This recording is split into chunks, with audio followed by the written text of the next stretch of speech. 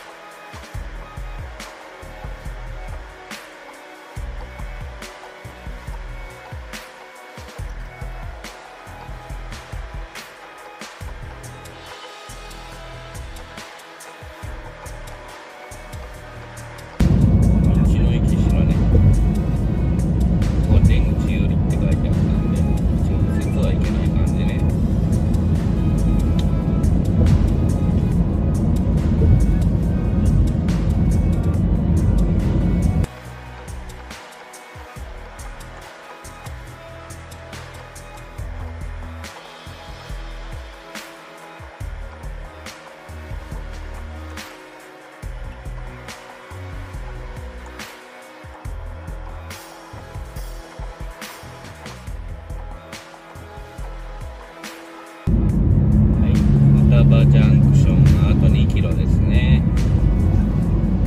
はいその2キロでねあの中部横断自動車道は終点になります。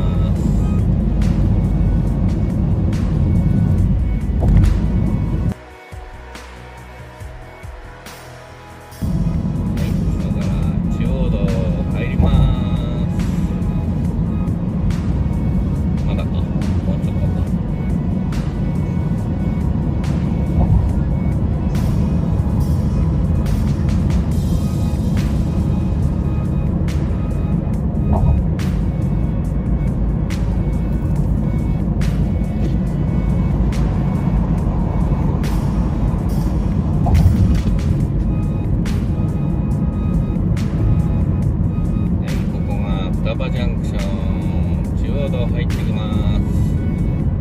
はいここです。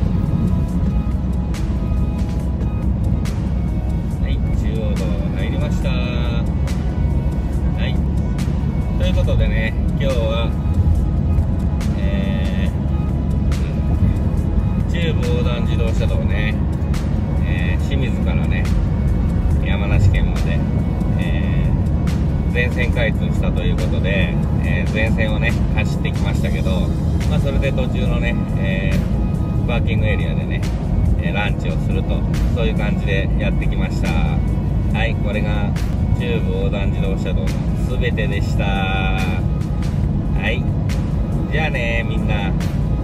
ご視聴ありがとう。バイバーイ。